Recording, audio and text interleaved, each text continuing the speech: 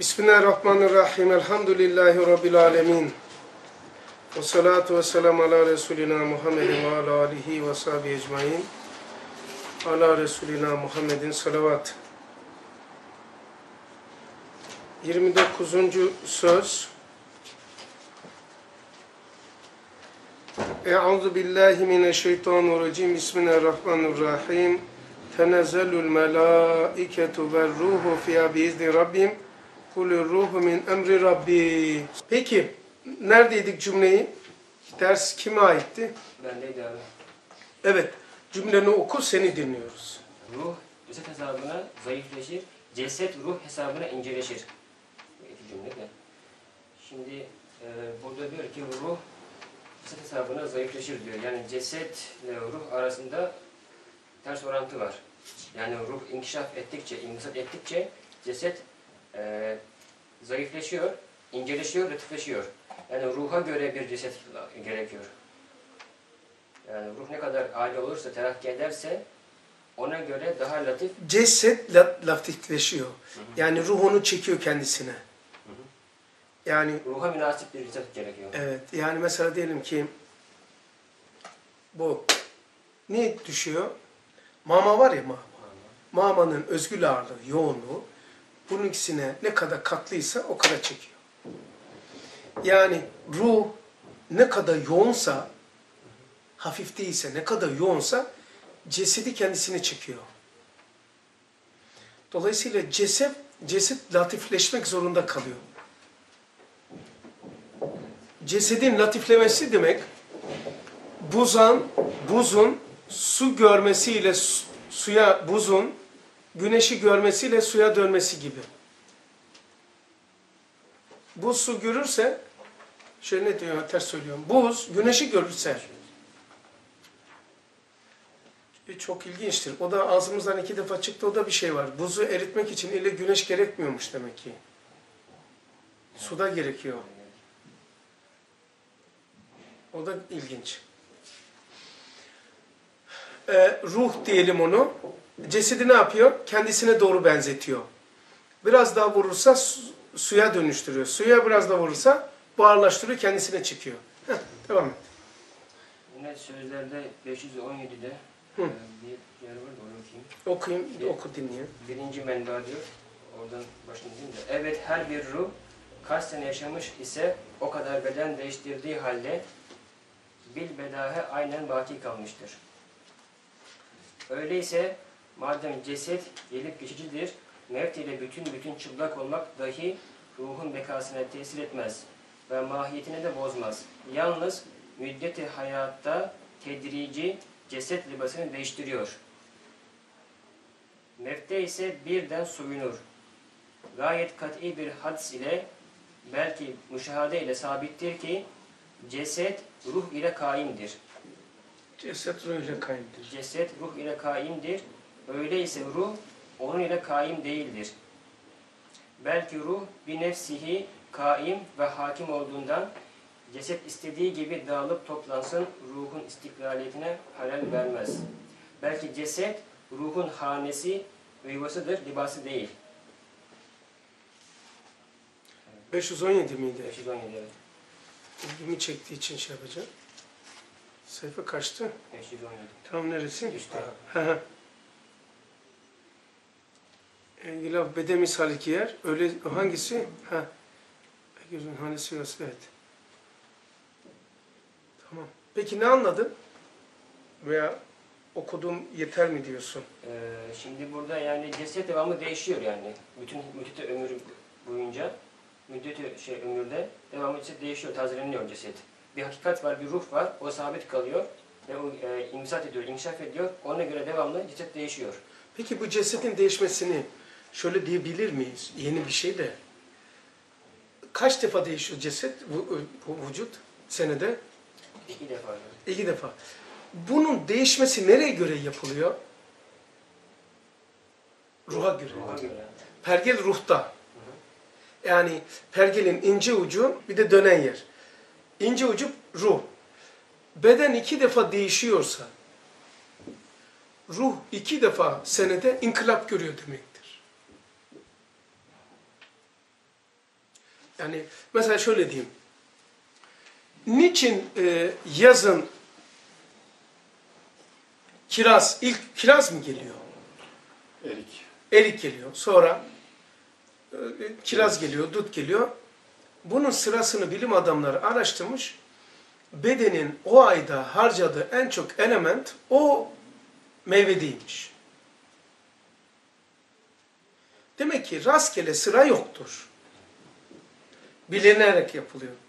Senede üç defa değil, dört defa değil, e, peyderpey değişiyor da temelde iki defa değişiyor. Peki bu değişimi rastgele olabilir mi? Bir mana ile olması gerekmiyor mu? Evet, olamaz. Yani öyle kafası esti, vücut değişiyor. Öyle bir şeysi yok. Lüksü yok, bir yere tabi. O zaman ya diyeceğiz ki ruh senede iki defa inkılap değiştiriyor, inkılaba uğruyor veya hayat inkılaba uğruyor. Seni mesela olsan senede iki defa siman değişiyor. Ama çok sık sık baktığımız için farkı fark etmiyoruz. Demek ki ruh senede iki defa inkılap görüyor. Temelde. Ki böyle oluyor. O zaman ceset büyümüş, küçülmüş, kadın olmuş, erkek olmuş, 10 sene yaşamış, 60 sene yaşamış. Hiç önemli değil. Evet, asıl esas olmadığı için. Asıl değil yani. O zaman sen eğer ruha bir hakikati koymuşsan o çekirdek oluyor işte orada. O zaman ölümdür, yaşamaktır, eşit oluyor. Yani ruhun derecesine girersek düşünce itibariyle unutmayın e, düşünceler hislerimizi aktif ediyor. E, aktif ediyor. Dolayısıyla neyi düşünürseniz oraya giriyorsunuz.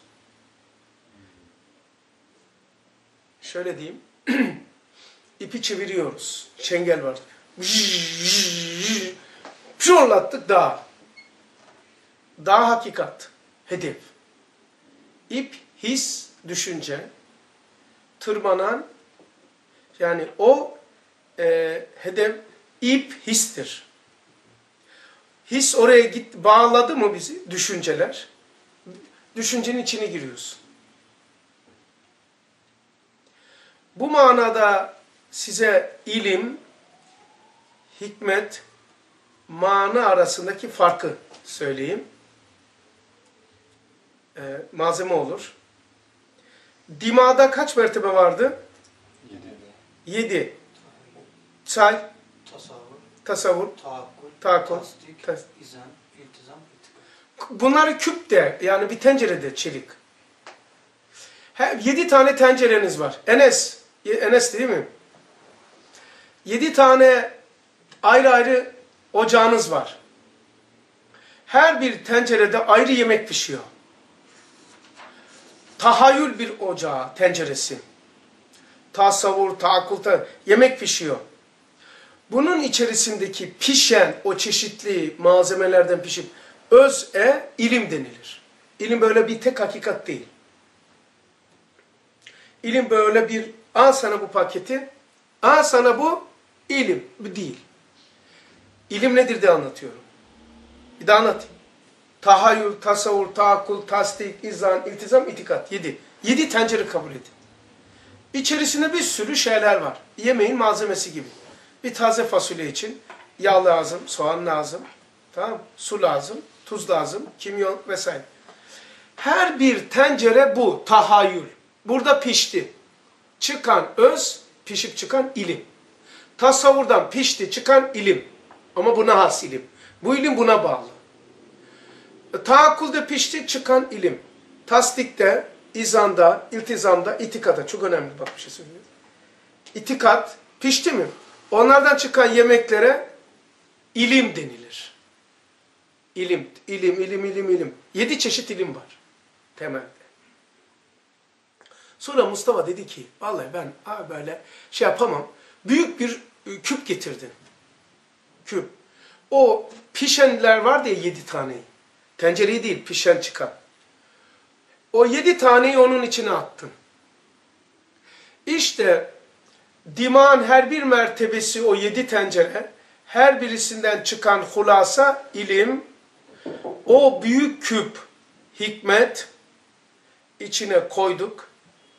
Ondan sonra dışarıya servis yapacağız. Ama yani bu yedi tanenin karışımı ya süzgeç koyduk. Öyle bir süzgeç ki yediye karıştırdık ama karışmamış. Yani bir kübe hepsini attık ama öyle bir şey ki e, karışmamış ama beraberler. Sonra dışarıya verirken ben servis yapacağım kişilere. Servis yaparken yani buna bu lazım.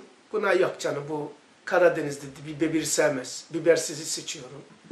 Buna çiğ köfte vereyim, buna bilmem ne vereyim, buna balık vereyim, buna ne vereyim diye böyle tercihleri var. Bunun adı süzgeçtir. Bu fehimdir. Fehim, süzgeç. Bu her bir e, kaptan pişen yemek ilimdir. Büyük kap hikmettir. Büyük kabın içerisinde bütüne gelenler o yedi tane manadır. Dışarıya verirken buna buna bunu vereyim, buna da bunu süzgeçtir. Bu fehimdir. Ee, ondan sonra senin e, tabakla veriyorum. Tabak da e, usluptur. Şimdi uygulayayım bu şeyi. Hatırladınız mı hakemattan? 91'den söylüyorum.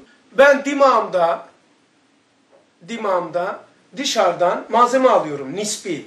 Büyük bina, küçük bina, siyah, beyaz, kadın, erkek, siyah, artı, eksi, doğru, yanlış. Bunlara nispi denilir dışarıdakilere. Aldım içeriye, itibari oldu.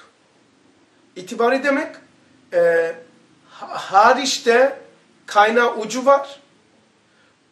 Tamam Fakat e, bundan alakayı kesiyorum, almış olduğum malzemeleri kesiyorum, biçiyorum, yapıştırıyorum, kaynak ediyorum, deliyorum, boyuyorum, değiştiriyorum. Yani dışarıdakinden değiştiriyorum. Yani bunu yaparken tahayyülümde şekillendiriyorum. Tasavvurumda düşünce kalıplarına sokuyorum. Taakkule attım, uuu dipsiz kuyu. Neler var orada? 12 tane şey var. Orada şey vesaire. Bunların tahayyülüm, tasavvurumdan, taakkulumdan, tasdikimden, izanımdan, iltizanım, itikadımdan çıkan her birisine ilim denilir. Hikmet ehli kim? Bu farklı parçaları, resimleri bir araya getirebilen hikmet ehlidir. Tahayyülünü, tasavvurunu, taakkulunu, tasdikini, izanını, iltizamın, itikadını bütüne getirebilen adam hikmet ehli adamdır. Tamam Sonra ben hikmet ehliyim. O hikmet bütüne getirdim. O farklı farklı parçaların bütüne getirilen zemin hikmet. İçerisindeki malzeme ise mana. Mana. Şimdi ben de bu manayı birisine at atacağım ve aktif edeceğim karşıyı. Karşıyı aktif edeceğim. Anlaşılıyor değil mi? Ama diyorum ki bu ortam olmaz. He? Bu ortam olmaz. Ee, kadınlar bu, çocuk bu, ilkokul çocuklar, ortaokul çocuklar, lise, düğünde konuşuyorum, cenazede konuşuyorum, kadınlara hitap ediyorum, çocuklara hitap ediyorum. Hepsinde farklı konuşurum değil mi? Bu farklılığı seçen, bu olmaz, bunu ver, bunu konuş, bunu konuşma. Tamam Burası cenaze, burası düğün. Burası, bunlar kadın, bunlar erkek. Bunlar üniversite, bunlar ilkokul. Bunu fark et, şey yapan, süzgeç, fehim. Fehim. Yeri neresidir bunun yeri? Taakkul var ya akıl. Onun içerisidir. Tamam mı? İçir, içerisidir. Fehm bu. Fehm. Bu süzgeçtir. O manayı süzgeçten çıkarttım. Bütünlüğümü taşıyor benim. Karşıya gönderdim. Gönderme zamanım. Gönderme şeklim. Surat asuk veya güler. Ve de elleri hareket ediyor. Zamanı zemini kim kime neyi nasıl. Bu usluptur. Çok doğru söylersin ama uslubun bozuk olur. Hep selak olur. Demek ki hiç kimse kelamla muhatap değil, uslupla muhatap. Ben sana çıkarttığım kelam değil bu. Bu kelamı etkileyen mimiklerim, beden hareketlerim, onu zamanında ortaya koymam, e, diş, diş etkenleri de nazara alıp şey yapmak, bu uslup, bu toplamına uslubum denilir. Uslubu bozuk adam. Doğru konuşuyor ama uslubu bozuk adam. Ha, bu uslubun içerisinde kelam var. Size gelen uslup. Uslubun içerisine git, gir, kelam. Kelamın içerisine gir, mana. Mananın bulunduğu kap, hikmet. O kabı besleyen yedi kaynak, tahayyül, tasavvur, taakkul, tasdik, izan, iltizam, itikat, ilim, ilimler. Yedi tane dereden geliyor. Yani bir havuz düşünün, şuradan geliyor maden suyu, buradan geliyor pekmez, buradan bal, buradan süt, buradan yoğurt, buradan bilmem ne. Tamam mı? O havuza toplanıyor. Her bir kaynak ilim. Havuz toplanan yer hikmet. Anlaşıldı mı bilmiyorum. Ha, şimdi bunlara göre beden iki defa inkılap görüyor. Demek yani beden iki defa değişiyor demek ruh iki defa inkılap geçiriyor. Temelde. Çünkü değişiyor. Şimdi abi mektubat sayfa 7'de Hı. mevti e, ıtlak ruh olarak tarif ediyor. Ne demek itlak ruh? Yani cesetten kurtulmasıyla birlikte ruh yani mutlak manada serbest oluyor. Itlak. Nasıl mesela Böyle bir... şimdi ceset ruhu kayıtlıyordu. Hı hı. Kayıt altına alıyordu. Mevt hangamında o ceset libasını, ceset hanesine bıraktığı için Hı hı. daha serbest oluyor, daha hür oluyor, daha kayıt altına girmiyor. O manada yani. Yani bir anda birçok yerde ruh bulunabilir. Arkadaşlar bu ruhun çıkmasını nasıl anlıyorsunuz mesela? Hiç hayal ettiniz mi ölüm dediğim şey? Böyle ruhun çıkmasını. Yani insan evinden çıkar gider, Öyle mi? ruh da Ya bir yerden çıktı yani. Ruh bir yerden mi çıkıyor? tabi o da bir teşbih. Efendim? Abi. Abi ceset bir yerde topluyoruz. Ruh zaten her yerde. Cesedin esprisi benim anladığım bir noktada tutması yani. Tutabilmesi. Tutabilmesi. Ölümde o cesedin dağılması. Artık serbest yani. E, Alet olmayınca belli bir yerde toplanma olmuyor abi. Ne oluyor o zaman? Senin dediğine göre e, bir lamba ampulden altından üstünden sağından sola her yerden ışık verdiği gibi cesetten ruh ağızdan çıkmıyor her yerden mi çıkıyor? Yani ceset ruhu ampul nasıl her yerde elektrik var. Ampul nasıl bir yerde gösteriyor bunu? Elektrik şu an burada da var yani. Var. Bir manyetik alan oluşturduğumuz zaman elektrik elde edebiliriz yani. Ee, aynı şey, ampul nasıl ışığı bir yerde toplayıp gösteriyorsa ceset de o şekilde. Evet. Yani dünyadayken de cesetten kurtulsak zaten ölümümüz gerçekleşmiştir diye düşünüyorum yani. Şimdi mesela güneş var abi. Güneşin de yeryüzünde mesela damlalar, damlalarda şey zannederde timsalleri var. mesela onların aynası madde itibariyle onun şeyidir. Yani masal olduğu Çok güzel. aynadır. O ayna kırılınca Her bir ayna hücre diyebilir miyiz? hücre diyebiliriz. Güneşe de ruh diyebilir miyiz? Evet, ruh diyebiliriz. Güneş söndü, aynalar ne oldu?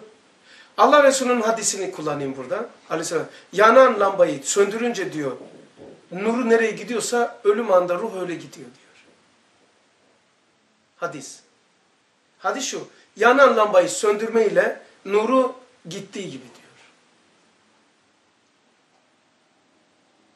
Gelişi tuhaf olduğu gibi girişi de tuhaftır. Mesela bak pervane vardı ya, pervane. Elektrik üreten pervane. Aşağı yukarı, aşağı yukarı.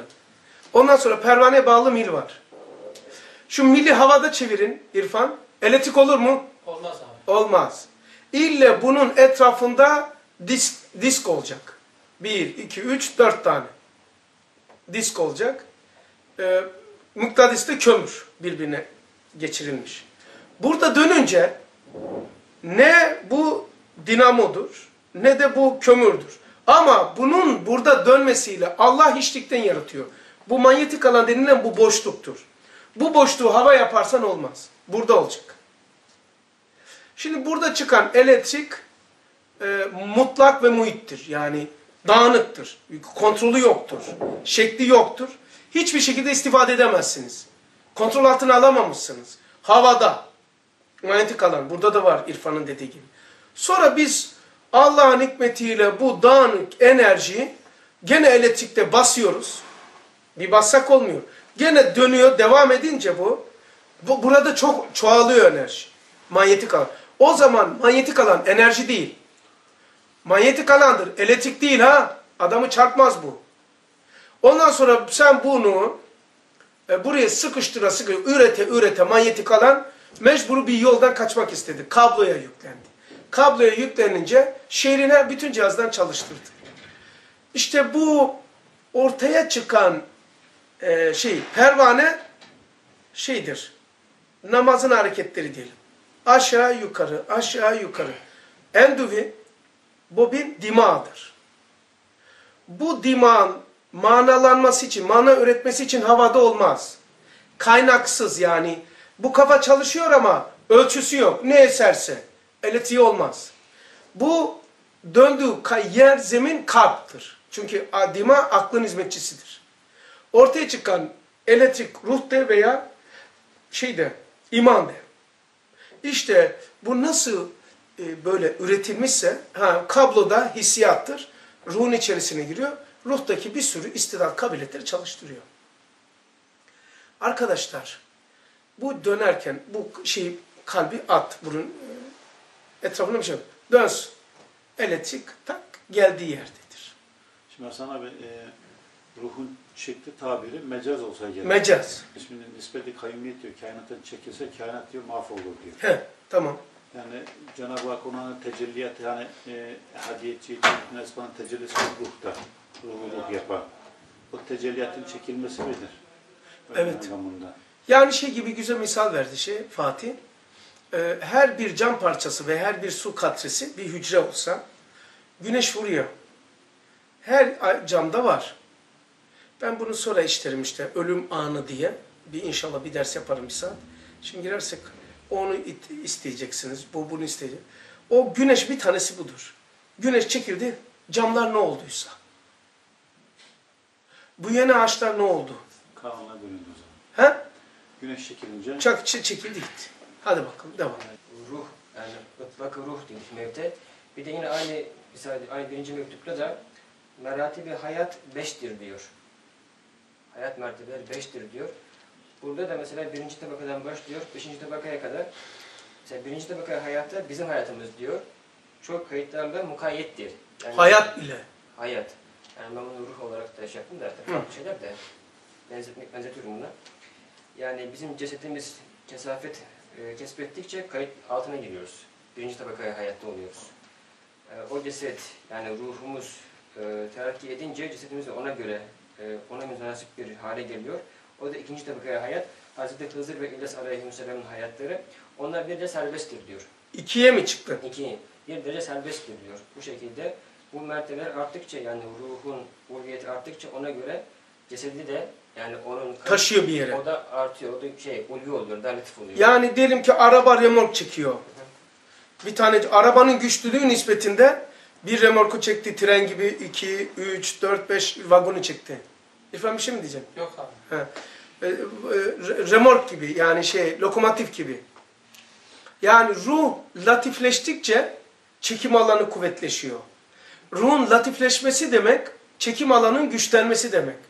Çekim alanının güçlenmesi demek yoğunluğu büyük oluyor. O zaman cesedi çekiyor, çıkıyor. Abi ruhun letafet kesbetmesi, hayata yaklaşması demek değil mi? Sonunda, Hayatın aslına doğru, evet. sonunda o da hayattan yapılıyor. Evet, hayattan Her yapılıyor. malzemesi olduğu gibi. Evet. Sonra üçüncü tabaka hayatta Hazreti İsa Aleyhisselam'ın hayatı, hayat tabakası. Bu da beşeriyet levazımatından tecerrüt ile melek hayatı gibi bir hayata girerek nurani bir letafet kesbeder. Nurani bir letafet kesbediyor. Adeta bedeni misali letafetinde. Bedeni misali. O ceset şey gibi oluyor. Hani ceset haneydi ya, bir de ruhun şeyi vardı. Glaf latifi, Hani beden misalisi. gibi. O ceset şey gibi oluyor. O hanesi onun beden misalisi gibi oluyor. Ben öyle anlıyorum. Doğru. Adeta beden misali letafetinde ve cesedi necmi nuraniyetinde olan cismi dünyevileriyle semavatta bulunurlar. Bu da üçüncü tabaka hayat. Dördüncü tabaka hayatı şüheda hayatı. Beşinci tabaka da ehli kubur. Yani bu bütün bütün cesetten şey olmuş, e, soyulmuş diyelim yani. Mutlak Evet. ruh. Yani çıkmış evet. çıkmış bu şekilde. Hı hı. Yine mektubatta 51. sayfada burada diyor ki zamanla mukayyet olan cismi maddi cismi maddi gılafından sıyrılıp e, tecerrütle ruhen yükselip diyor. Yani burada da e, ruhun yükselmesini e, maddi gılaftan, cismi maddi gılafından sıyrılmasıyla anlatıyor. Yani insanın tecerrüt etmesiyle ruhun yüksel, yükseleceğini söylüyor. Yani ruhun yükseldiğinin alameti nedir? Maddi gılaftan çıkması. Maddi gılaftan sıyrılması diyor. Onun da alameti nedir? Eylem olarak dönüştürelim ki mutlak onu. Yani insanların gayeleri onda gaye olmamış. Ben şeyi sordum. Dedim ki Beyazıt şeye Beyazıt Bestami Hazretleri'ne sordum. Dedim ki efendim dedim siz niye büyüksünüz? Acayip bir manidar cevap verdi. Var belki beş sene. Ee, niye büyüksünüz diye sordum. O bana dedi ki sizin için büyük olanlar bizim için hiç büyük olamadığı için biz büyük olduk. Şimdi bu burada da öyle. Yani ruhun e, bedeni misal letafet kesbetmesi maddi gılafından çıkması. Maddi gılafından çıkması bedensel yaptırıcılığı olmaması. Yani tirakilikler, hayattaki gaye. Mesela insanların bu, bu tip hangi tip insanlardır? Hayatta gaye, gayeleri, insanların gayesi şeyler onların dünyasında yoktur. Onların gayesi olmamış. Yani eyleme dönüştürmemiz lazım her bir mananın. Bir, okuduğumuz manayı ruhta, fiilde, dimada ve kalpte konuşmamız lazım. Yani sana onlar sufliyetten, cüziyetten, O demek yani. kesafetten değil mi? Yani arkadaşlar böyle bir pat diye bu nasıl olmuştur bu şey zar artmak gibi değil. Nasıl oluyor? Yani bedensel hayat var ya işte yeme, içme, uşkurluk var ya işte yatma ben. Yani bu tür şeyler gaye olmaktan çıkmış. Yitirmişler yani bedenin yaşamasına kanaat etmişler. Yani dünyayı dünya hesabına terk etmişler. Yani böyle arabam olsun, yeni bir telefon alayım, ne bileyim şu yatakta yatayım. E, böyle olsun. Bir eşim olsun, aşım olsun, işim olsun. Yani bu olursa da işte böyle ikide bir tecüdüt olmaz. Yani bedensel e, olmazsa olmazlarımız var ya. Onlar onların dünyasında yok. Ve hatta e, söylesem bile böyle yaparlar. Acayip. Hayret mi sen bununla e, demez de nasıl bununla tatmin oluyorsunuz diye garip, garip ve acayip bakar bize. Biz de ona acayip bakarız. Ama bizim içimizdedir bunlar. Yani böyle acı bir hilkat değil. Yani sudan onlar da vapurla geçer. Yürümezler. İmkanları dahi olsa. Şimdi burada dedik ki abi, He. tekrar böyle okuyayım da burada bir ibare var, size bunu soracağım. Ee, Burayı baştan alayım. Zamanla mukayyet olan cismi maddi gılafından sıyrılıp tecerrütle ruhen yükselip dün geceki Leyle-i Kadir'i öbür gün Leyle-i İd ile beraber bugünkü gibi hazır görmektir. Çünkü ruh zamanla mukayyet değil. Hissiyat-ı insaniye diyor. Şimdi burayı soracağım ben size de. Hissiyat-ı insaniye ruh derecesinden çıktığı vakit. Yani şimdi bizim anladığımız şu mu? Bu ceset var, cesetteki hissiyatlar var. Bunlar mı ruh derecesinden çıkıyor? Bunlar e, hissiyat insanın bedenini meydana getiren şöyle. Şu ruhu çıkartalım. Bed, ruh çıksın. Bedeni makineye koyalım. Hani elmanın suyunu çıkarır gibi. Bedeni makineye koyalım. His, heves, tabiat. Heva. Dört. His, heves, heva, tabiat. Çıkar. Bir şey kalmaz. Bunun dördünün hulasasının donmuş hali nefistir. Ama nefs emare diye aklınıza gitmesin yani. Hep kafa oraya gidiyor. Nefsin yedi mertebesi var. Nefs emare en süflisi. Yani buz gibi. Sonra, soya, sonra suya doğru git. Levvame, mulime, mutmaine, raziye, natıka, safiye. Böyle gidiyor. Bunlar hissin içinde değil mi abi? His, his. Hissin, hissin içinde. Hissin içinde derken nefsin içinde. Nefis. Hani hissin karşısına ok çıkartmış, nefis, nefis yazmıştınız ya abi. Yani tabi ama hepsinin ayrı bir yani her şeyin bir hissi var. Yani hissin içinde değil de e, yani bu nefsin içinde iste var. Yani his değil bu. Yani be- beden denilen şey nefis, nefsin donmuş hali. E bu beden nedir ya arkadaş? Yani bunun maddesini yapalım ki üretelim bunu. Dersen makine koyup özünü alman lazım. His var. Koy tencereye. His, heves, heva, tabiat. Koy karıştır, buzdolabına koy. Donsun, beden olur. Yani ben şöyle biliyordum. Hissin içinde şey nefse ait olur. Bunda o zaman bunların hepsi nefse hitap ediyor. Evet. Bu oluyor. Tamam bunu bilelim ki diyor. Sonra hissiyat insaniye. Hissiyat insaniye bu değil. Bunun e, bununla bununla bu cesetle ruh arasında Allah bir tane berzah koymuş. Bedeni misali glatif, latifi seyali latife isimlendiriyor. Üç malzeme. Bu bir berzah var, bir malzeme var. Yani zar. Beden, bu nefisle ruh arasında bir zar var. Cam, camın arkasında siyah ama ince bir zar var orada. Bu ruhun vücudu harici kısmı mı oluyor? Evet, Öyle diyebilir miyiz? evet. Yoksa o olmasa ruh hissedemez. Yo, hissedemez bedensiz. Evet. Yani ruhtan bedene, bedenden ruha geçiş bu gılaf-i latif, beden misali seyali latife ile oluyor. Bu seyali latife bedene giydirilmiş. Yani öyle bir hale getirilmiş ki ruh indirgenmiş, türevi alınmış, bedene uygun hale getirilmiş. Hani bedenden, bedenle alem-i şehadete intikal edebiliyor. Bedenden ruha geçiş yapıyorsun, ruhtan bedene inebiliyorsun. Mesela kulağımla sesini duyuyorum. E, Geçiyor ta bedende bitiyor sonra gılaf-ı latif, beden misali bir seyali latifeden geçiyor ruha giriyor. Ondan sonra diyorum ki lafın çok ağır geldi bana. Ruhuma ağır geldi. Bak bu sü- süreçten geçti. İşte hissiyat-ı insaniye e, hissiyat-ı insaniye e, bu da değil. Kalpte olan e, latife-i insaniye var. Barla 273. Buna ait bir dersimiz var bizim. O hissiyat insaniye, insanın iki tane ulvi yapısı var. Bununla ötelere taşıyorum. Bir latife-i Rabbaniye, bir latife-i insaniye. Latife-i insaniyenin içindedir hissiyat insaniye. Ama bu makamda o buraya indirgenirse, buraya değiştirir. O hissiyat insaniye beden ile ruh arasındaki o yapıyı birbirinden bunu bu tarafa taşıyor. Yani ruhun tesirini buraya şey yapıyor. Fazla veriyor, aktarıyor. Bu değişiyor. İşte bu hissiyat insaniye ruh seviyesine çıkıyor. Buraya çıkıyor. Tekrar abi. Bir daha şey yapayım. Şimdi bir ruh var. Ruhun içerisinde dört özellik var. Zihayattır, zişuurdur, kanun emr, zi yani vücud haricisidir.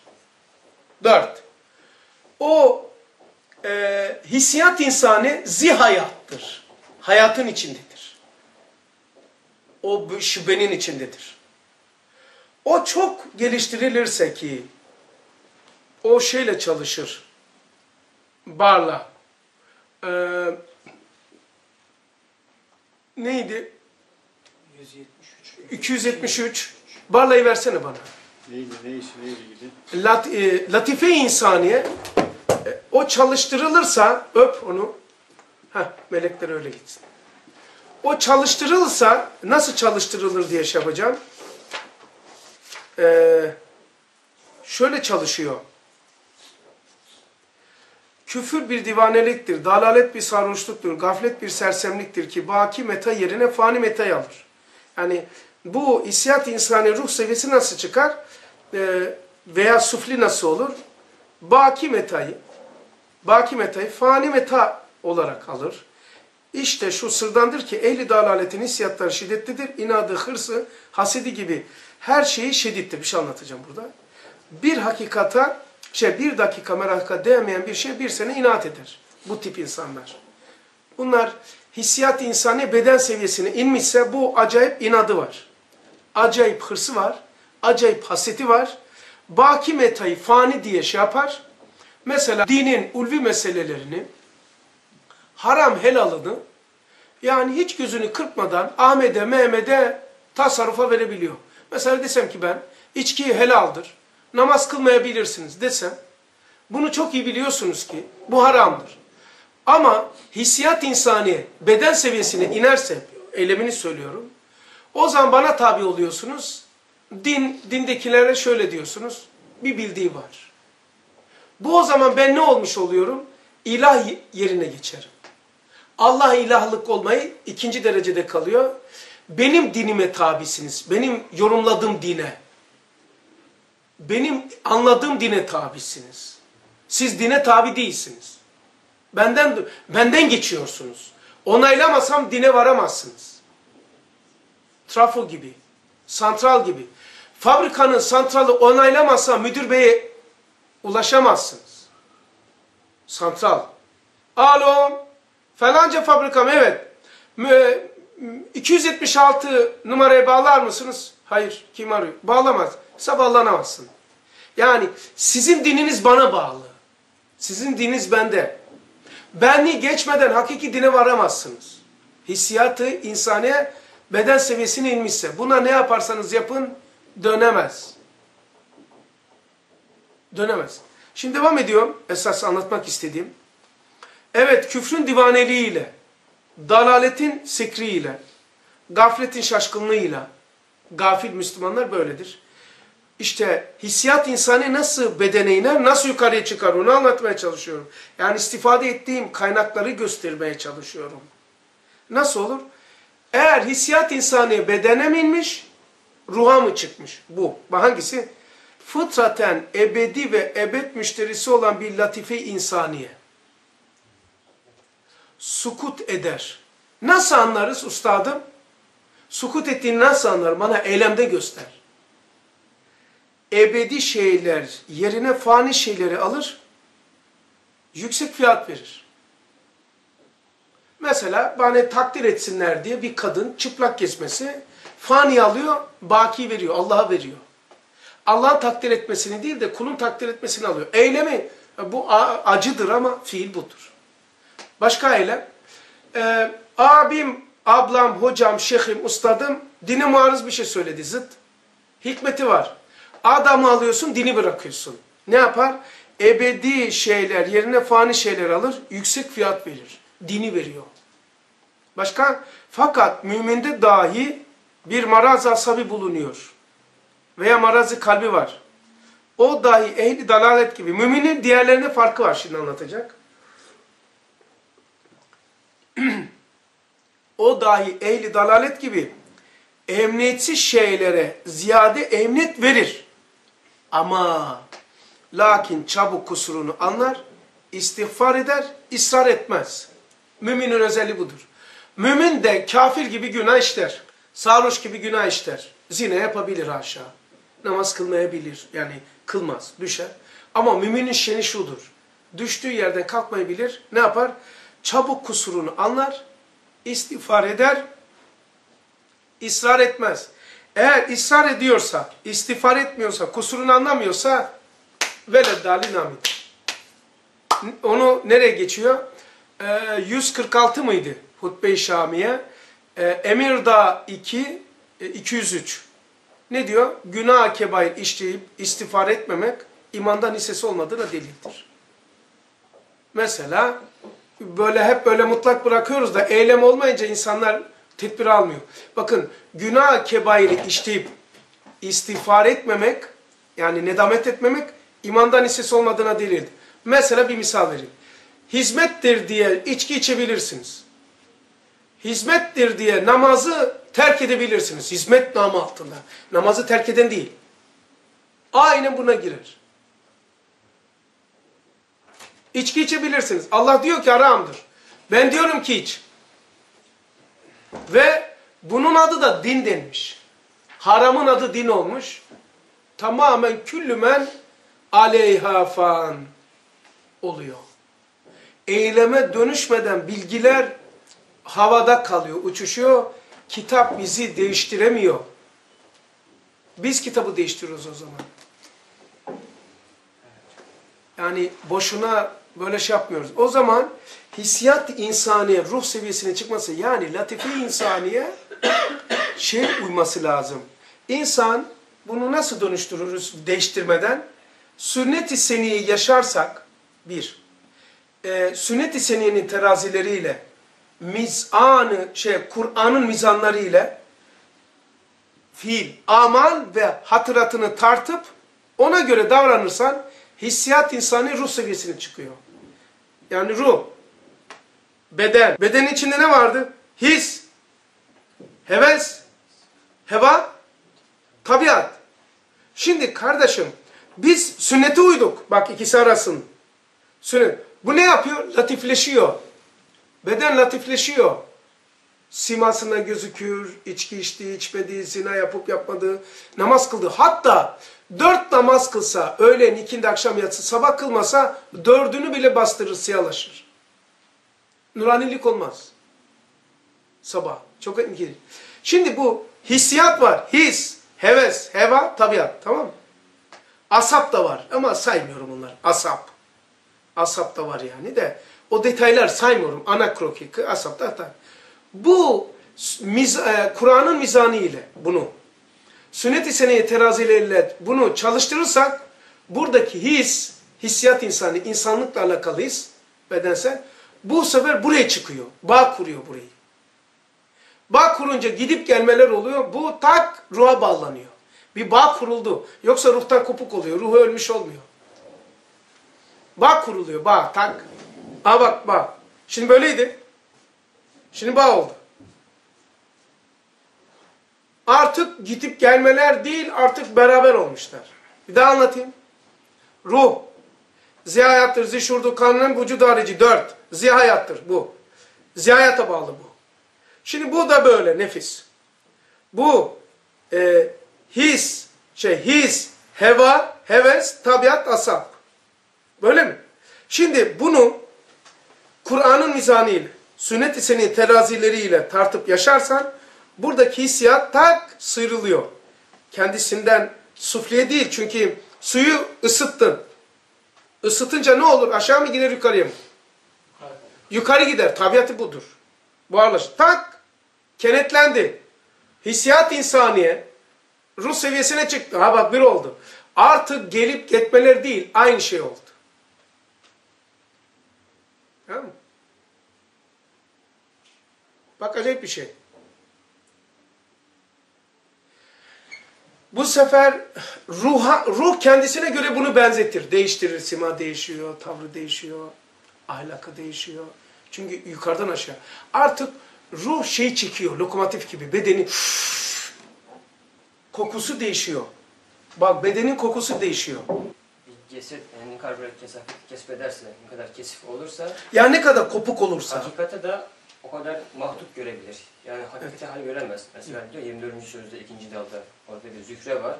Katre var bir de reşa var. Yani bu zühreye bir şey olarak bakabiliriz. Mesela böyle kesif bir beden, cisim olarak bakabiliriz mesela. O mesela güneşi kendisi gibi tanıyor. Sadece bir çiçek olarak görebiliyor. Yani asıl bir ruh var, bir hakikat var. Adi bir, bir makam var. Onun tam hakikati halini bilemiyor, tanıyamaz. Sadece Yani çiçek der ki sırf beni beni beslemek için güneş vardır. Bilmez ki koyunun tüyünü de büyütüyor. yani güneşi sadece kendisi gibi tanıyabiliyor. çiçek gibi. Öyle bilebiliyor. Çünkü o kesif olduğu için, bedende hapsolduğu için, işte hapsolduğu için öyle bilebiliyor güneşi.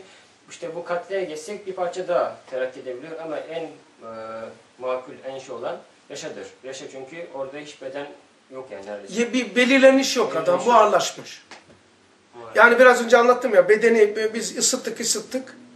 Ne yaptı? Tak bağladı. Artık bir belirleniş yok. Adam her şeyi bu gayri ihtiyarı artık böyle ulviyetle, merkezle hep yorumlar. Yani artık dışarıda değil bu adam. Bu, bu adam dışarıda değil. Dışarının ölçüleri ölçü değil. İçerideki merkezde olaya bakıyor. Buna ne deniliyor? Allah canibinden, kudretin azameti altından kader ilahinin izini, özünü, yüzünü müşahede ediyor. Hikmet ilahiyeden ileri hikmet, adalet ilahiyeden adalet, inayet ilahiyeden ileri inayet, e, hikmet ilahiyeden daha ileri hikmeti sürmez ve Allah'ın icraatını gayet rahatlıkla seyreder. Oturduğu yerde. Hiçbir resmin bir tane detayında bu olmaz. Niye böyle oluyor ya? Bu niye böyle dedi ya? Allah Allah şunlara bak ya. Diyen adam dışarıdadır. Taassubun altyapısı neydi? İki tane temel yapısı vardı. Cehalet, Cehalet ve. Aferin bunu ezberleyeceksiniz. İsim soyisim gibi. Cehalet ve ademi muhakeme. Yani cehaletle ve muhakemesizlikle ikisi birleşirse adam külliyatı çok iyi biliyor. Fiziği, kimyayı, mühendisi biliyor. Okuyan cahil derler buna. Cehli mürekkep. Evet. Yine bu manada lemalarda bir yer var. Oraya okuyayım abi. Tamam. Lemalar Bugün senin ders. sayfa 137. Ha, bitirmen lazım bir saat. Hepsini sıkıştırman lazım. 14. nota. Onun sonunda diyor ki madem dünya hayatı ve cismani yaşayış ve hayvani hayat böyledir. Hayvaniyetten çık, cismaniyeti bırak, kalp ve ruhun derece hayatına gir. Tevehhüm ettiğin geniş dünyadan daha geniş bir daire-i hayat, bir alimi nur bulursun. İşte o alemin anahtarı marifetullah ve vahdaniyet sırlarını ifade eden La ilahe illallah kelime kutsiyesiyle kalbi söylettirmek, ruhu işlettirmektir. Burada diyor ki tevehhüm ettiğinden geniş, tevehhüm ettiğin geniş dünyadan daha geniş bir daire hayat, bir alim nur bulursun. Yani o zührenin, o çiçeğin tevehhüm etmiş olduğu o dünyadan daha geniş bir hayat bulabilirsin diyor. Ben bunu mi? Şimdi insanlar zahire baktıkları için Fatih'im, Zeytinburnu, Kazlıçeşme, Marmaray, Surlar, başka nereye? Topkapı, başka neyi görüyor? Bir de hayal etti. İşte nedir? Arabadır, iştir, aştır, ak, küçük. Ama bu tevehüm etti bu kadar, vehimlendi. Vehim bu. Dairesini, kendi dairesini, kendi mezarını kazdı. Ama hissiyat insanı ruh seviyesini çıkarsa bu ona gaye olmaktan bile çıkar, ahiretten besleniyor, Allah'tan besleniyor. Yani böyle- Mesela bir tanesini söyleyeyim. Ee, dün bir soru soru sordun ya. Ee, neydi soru? Ee, Allah e, Allah'ın zatına aynı olmak mı demişti. E yani kısa bir şey söyleyeyim. Bununla alakalı rüya gördüm de şunu demem gerekiyormuş sana. Yani içerisine ne var, nasıl hal olur? Bir tanesi şuymuş, en dış kabuğu. Şey sanırım, Cenab-ı Hakk'ın tecelli zatısına mazhar olmuş diyor. Ha, ha bir insan Allah'ın tecelli esmasına değil, sıfatına değil, şuna da zatına. Tecelli zatına mazhar olan insanda neler olur, nasıl bir şey olur? İçerisinde bir, bir- şey neyse, e, en dış kabuğu şudur. Bu zat Allah, Allah ile ünsiyet eder. En düşük makam budur. Merak ettim dedin ya hiç. Bu sefer bir şey gördüm. Demem ge- gerekiyor sana onu. Dünkü derse. Yani tecelli zatına insan mazar olursa ne öze ne olur bunda? Bu artık Allah ile ünsiyet eder. Ne demek o? Artık gözü Allah'ın gözü, eli ayağın eli, ayağı Allah'ın ayağı. Var ya hadisi kutsi. Ya Musa ben ha- hastalandım. Beni niye ziyaret etmedin? Musa Aleyhisselam diyor ki estağfurullah ya Rabbi sen nasıl hastalanmışsın sen Allah'sın. Dedi ki falan bir kulum var. Onu ziyaret et. Beni ziy- ben hastalandım beni ziyaret etmedin diyor. Allah diyor. Da hadisi kutsi. Niye? Fena fillah. Fena fillah olunca o adam ne diyor? Allah Resulü devam ediyor. Bir insan Allah'ta şey yaparsa artık onun gören gözü, işiten kulağı, tutan eli, yürüyen ayağı olur. Onun bizdeki tabir, bu tasavvuftaki, bu hadis. Tasavvuf, bu ilmi tabir şu, Allah'a ünsiyet etmek. Onlarda ülfet olmaz. Allah yani a- a- çocuk anasını emer gibi Allah'a ünsiyet eden Allah'iden besleniyor. Yani hissiyatların ahiretten besleniyor. Dünyadayken oradan besleniyor. Bu birinci mertebeymiş. Son kabuğu. İkinci ile arasında nihayetsiz fark var. Hiç alakası yok bununla. İkinci mertebe. Yani Risale'nin tabiriyle şöyle diyebilirim sana. Acizini, fakrını, kusurunu tam anlamasıyla kudreti, rahmeti, hikmeti artık. Yani işte at, fark, noksan kusurunu bilince insanda oluşan ünsiyet işte. Evet. O aczinin, fakrının, kusurunu, naksını bilirse Tamam mı? Bilirse insanda ne olur? Eyleme dönüştüreceksin. Ünsiyet olur. Allah'a ünsiyet olur. Yani Allah sen mesela birisini hayal ettiğin zaman zevk alıyorsun ya veya nefret ediyorsun. Bir yemeği bile hayal etsen lezzet alıyorsun.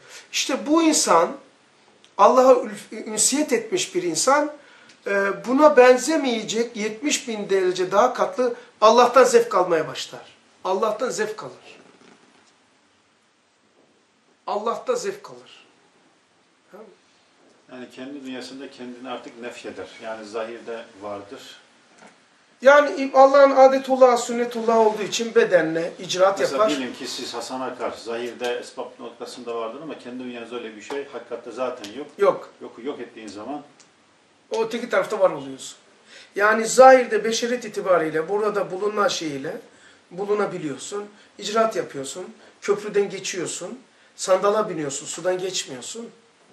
Ona ne gerekiyorsa burada adetullah. Çünkü Allah böyle istemiş. Allah'ın istediğine uyar. Böyle harikalar şeyler istemezler.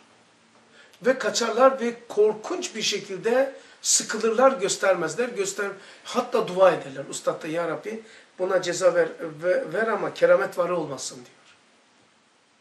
Yani adeta haşa Allah'ın adalet, şey, kudret, şey, kudret düğmesi bunlara verilmiş. Bastıkları gibi yok olur, dirilir. Şimdi şöyle bir tabir var sana bir Kader Risalesi'nde yani bunu imane kaderden konuşan adam için diyor. Kainatı ve nefsini diyor Allah'a verir. Onun tasarrufattan da bilir. Kendisine bütün bütün çıkar her şeyi tasarrufatını Allah'a verir. Hayırları Allah'a verir diyor. Şerde gidiyor kendi merci olarak kabul eder. Şeri derühte eder, kusur derühte eder, Rabbini takdis eder diyor. Evet. Bu işte hep anlattığımız hep ülfet. Şey tövbe tövbe. Ünsiyet. Yani bu tecelli zata mazar olanların meziyetlerinden bir tanesi. Bu, bu kapıdan giriliyor.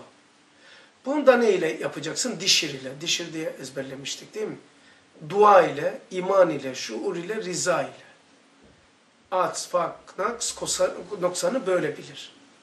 Senin hakkındaki icraatını, Allah'ın sana e, icraatını e, kemali memnuniyetle kabul etmek şu sıfatla mümkündür. Dişir. Dua ile, iman ile, şuur ile, rıza ile.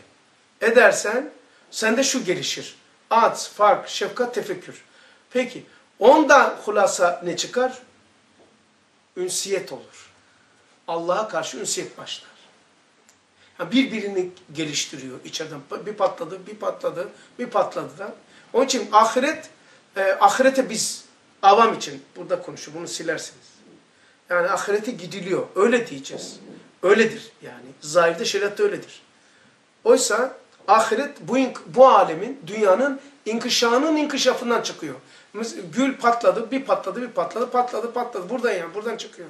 Bir yere giden, gelen olmuyor yani. Onun için ahiret zaten burada yani. Şey gibi işte Yani- ruh münasebeti gibi değil mi abi? Ceset ruh gibi. Yani de, ru- ruhun, kalp ve ruhun derece hayatına girdin mi orası ahiret işte. Hatta daha acayip bir yer işte. Yani her neyse. Dedi ya zaten hakikati zahir içine görmek. Evet. Hakikati zahir içinde görmek. Hakikati zahir içinde görmek. Kaçıncı sözdeydi o? 20 Dört, şey, 492 şeyde. ne 27. söz müydü? sözün 27. sağ söz. He. Yani aynı hakikati aynı zahir içinde görmek. Yani e, buzun içinde suyu görmek. H2O'yu görmek.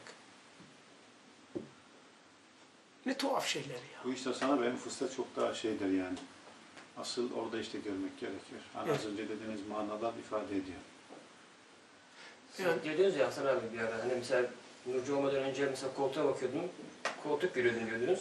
Nurcu olmaya başladım. Koltuğu şimdi görmüyorum. Başka bir şey görüyorum diyordunuz. Zaman geçti sonra baktım ki ne koltuk koltuk görüyorum diyorsunuz.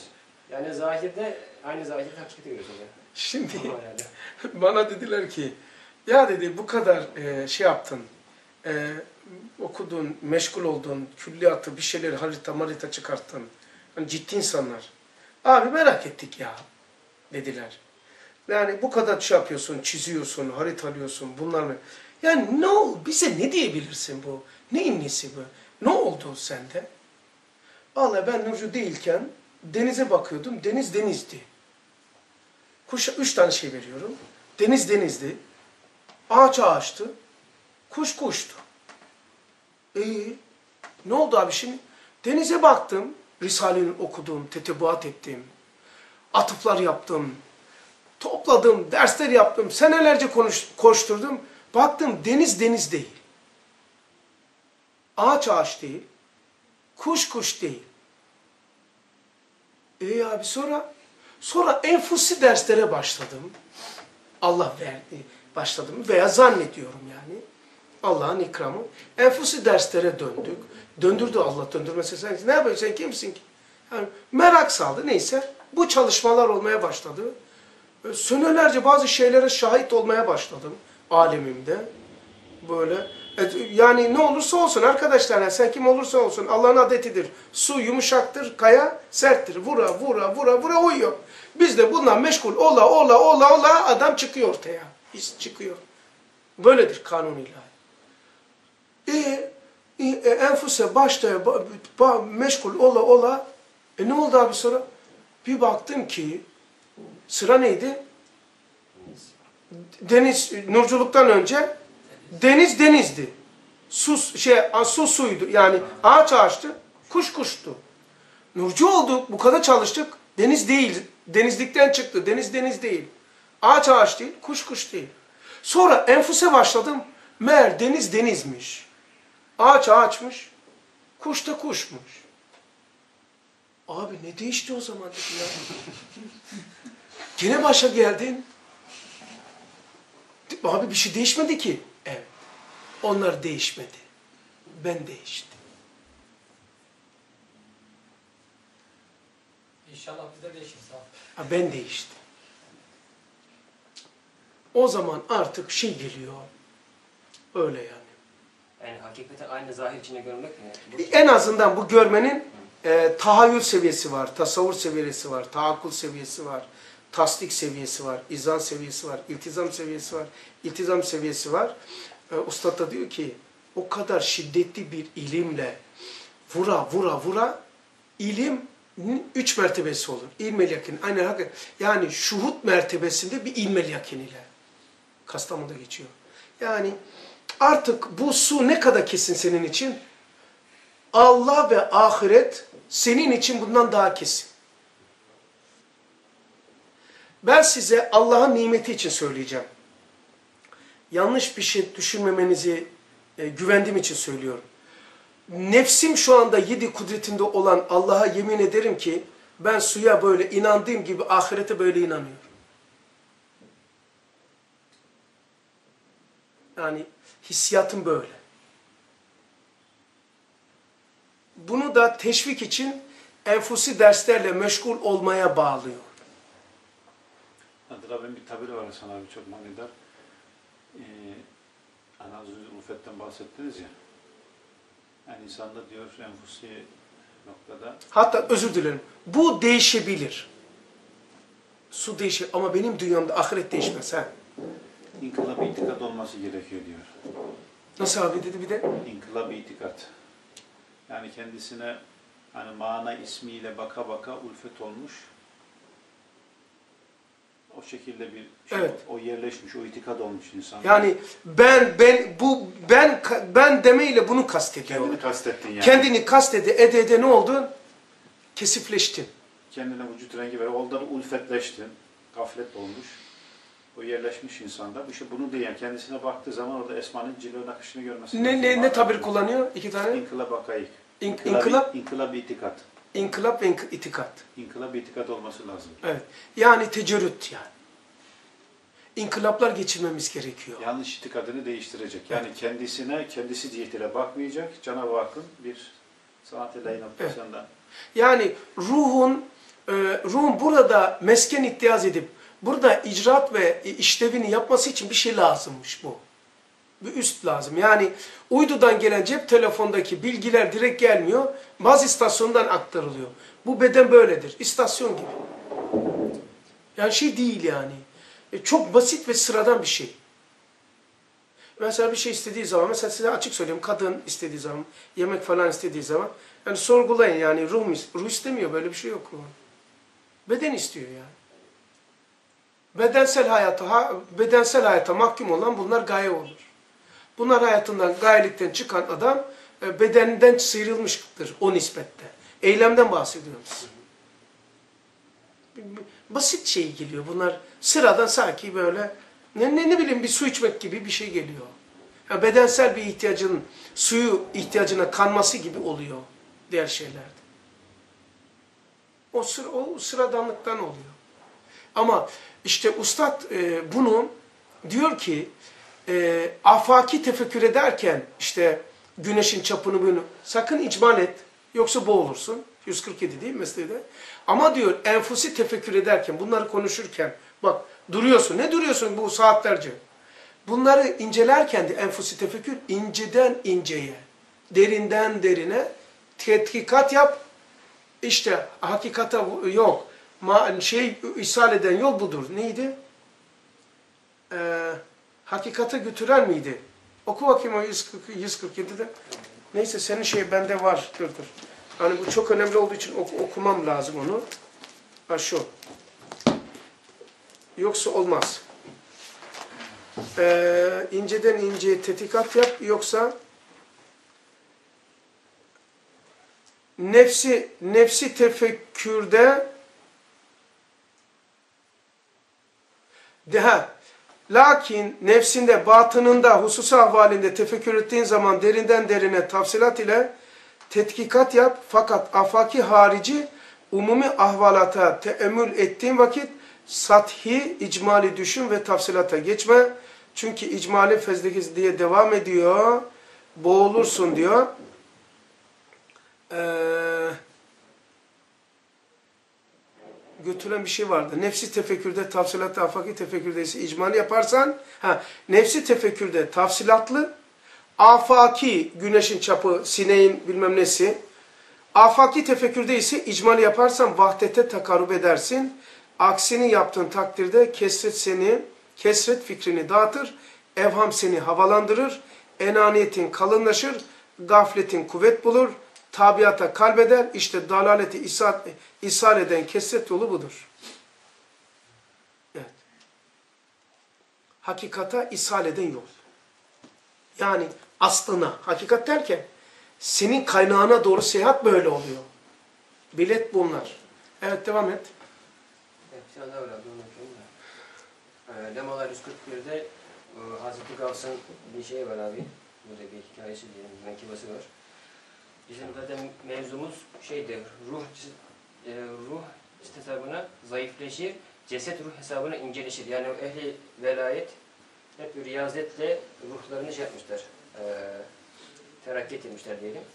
Burada da işte Gavs-ı da o riyazet eden e, müridinin işte validesine e, bir şey diyor. Ne vakit diyor senin oğlun da bu dereceye gelirse o zaman o da tavuk yesin diyor. İşte Hazreti Gavs'ın bu emrinin manası şudur ki ne vakit senin oğlun da ruhu cesedine, kalbin nefsine, aklı midesine hakim olsa yani ruh cesede hakim olsa ve lezzeti şükür için istese o vakit leziz şeyleri yiyebilir diyor. Hani siz demiştiniz yani bu hani bunu isteyen nedir? Ruh mudur, ceset midir? O işte şükür için istenebilir belki ama İster. Ama o lezzet seni bir yere taşıyandır. Mesela e, bütün her şeyden seni koparan bir haldır tamam mı? Lezzet. Lezzetin her çeşidi. Sıfırlan, seni sıfırlıyor. O zaman lezzet aslında seni bir yere taşıyandır. Koridordur, tüneldir. Peki lezzet nedir? Unutmayın bunu. Her şeyin aslına doğru seyahatin adıdır. Aslına doğru yöndür. Mesela özür dilerim, affedersiniz, kusuruma bakmayın. Mesela cinsellik ne yapıyor? Hangi yön, yol ve yöntemle gelmişsen bu dünyaya, aynı yolu geriye doğru hareket etmenin adıdır. Elma ise hangi yöntem ve yolla gelmişse, mesela elmayı tersine çevireceğiz şimdi. Getir elmayı. Elmalıktan çıktı. Su. Dilin deliklerine uyarıldı sinir. Elma burada. Hiç alakası yok bu lezzet. tellerle lezzet buraya gidiyor. Lezzet burada alınıyor. Lezzet. Onu ruh alıyor. Lezzet burada madde o, o lezzeti alan ruhtur. Ne yaptı? Ulvi bir manadır. Yani lezzet denilen şey elma değildir. Elmadan elma ile insanda uyandırılandır. Tamam? Lezzet insanda zevk şeyde, elmada. Şeyde geçiyor, hakem isminde, lemalarda. Hakem isminde. E, nimette zevk insanda lezzet vasıtasıyla ismi hakim tecelli eder diyor. Bir daha söylüyorum. Lezzet, lezzet eşyada yoktur. Vardır, uzak, zevk var diyor. Lezzet insanda.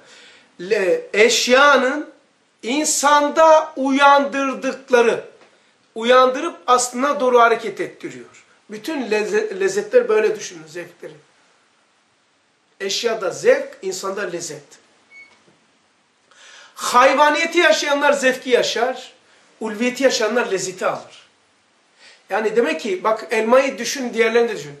Elma elimde, ısırdım, elmalıktan çıktı. Su haline getirdim.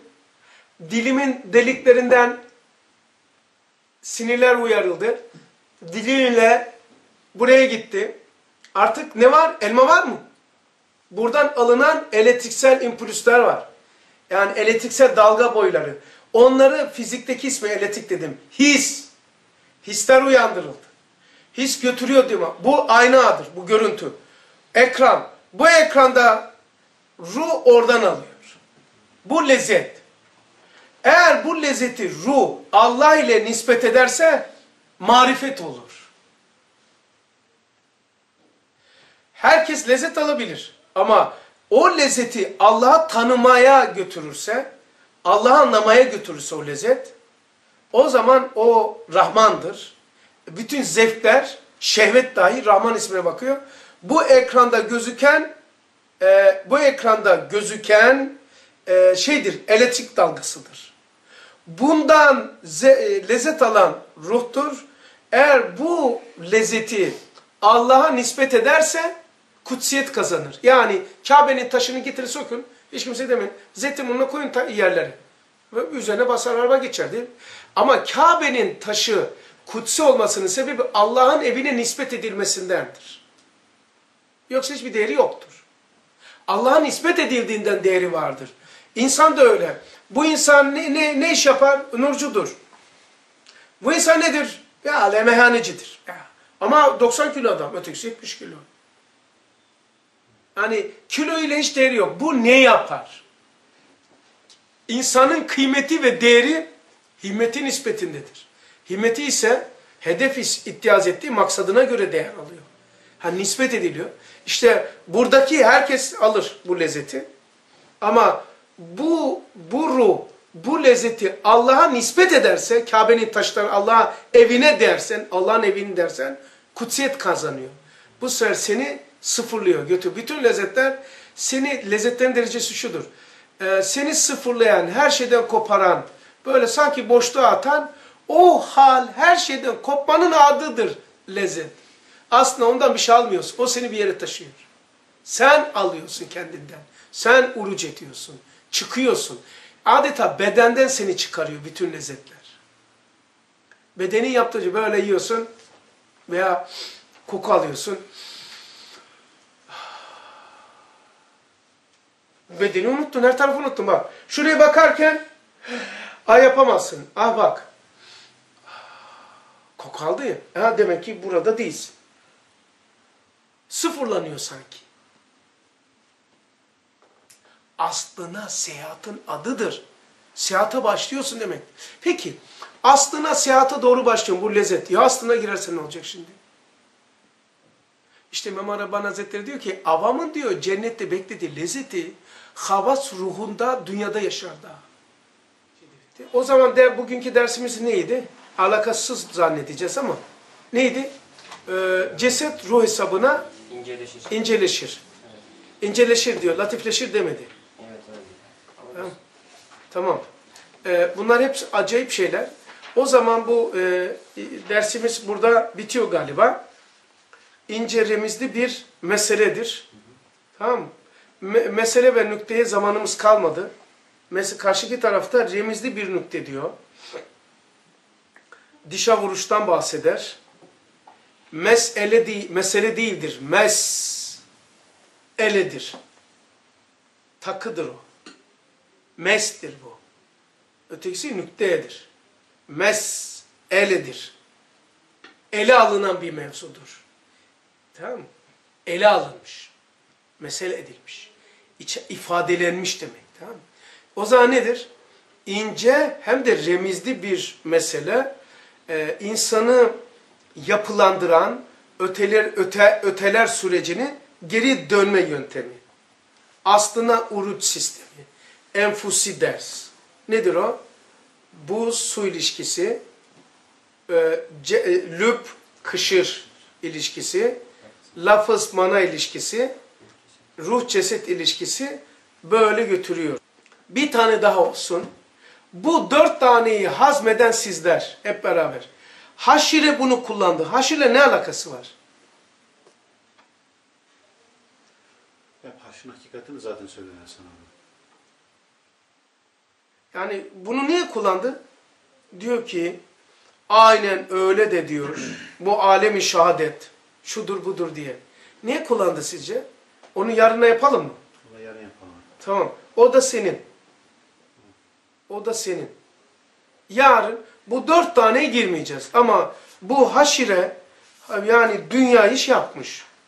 Ee, yani aynen bunun gibi diyor. Ne diyor ondan sonra? Anlaşılır bakayım. Öyle de diyor dört tane misal verdikten sonra alemi kesif olan dünya, alemi latif olan ahiret hesabına hayat makinesinin işlemesiyle şeffaflaşır, latifleşir. Değil mi? Yani bu dünyada böyleymiş. Ama şeyi ben sana bir ipucu bir şey yapayım. Dünya da bir cesettir, unutma. Bir nefistir. Ha, ona göre düşün. Bak ondan sonra eğer muvaffak olabilirsek inşallah bu malzemeli 5-6 tane ders oldu. Bu bunlar dünyanın üzerindeki perdeleri kaldırabilirsek inanın bana dünya ve ahiret aynı gibi olur. Aynı gibi değil, aynı olur. Hani zaten e, bir, hakikatinin bir sürecidir. Meğer hakikaten cennetteymişiz de, ahiretteymişiz de, dünya zannetmişiz diyeceksiniz. Çünkü haki, zahirden hakikate geçtin mi, zahirde bulunduğun halde hakikati yaşıyorsun, seninki pek şey yapamaz. Aslında şu anda oradasınız da haberiniz olmuyor. Haberiniz olsa o zaman imtihan sırrı kalkar. Ahiretin güzellikleri insanların nazarında tebeyyün etseydi, çoğu insan intihar eder geçerdi. O etmesin diye ahiretin güzelliklerini ölüm, hastalık, musibet gibi şeylerle kapatılmış ki burada kalsınlar diye. Aslında acaba biz bedenen buradayken bu dersleri konuşarak burada mıydık? Burada böyle bir şey yok. Bedenen buradayken işte ruhu e, bu hakikatlarla taşıdık. İlim aynı zamanda koridordur. Ötelere geçip o bu manevi haller e, oradan geliyor, odur. Peki. El Fatiha.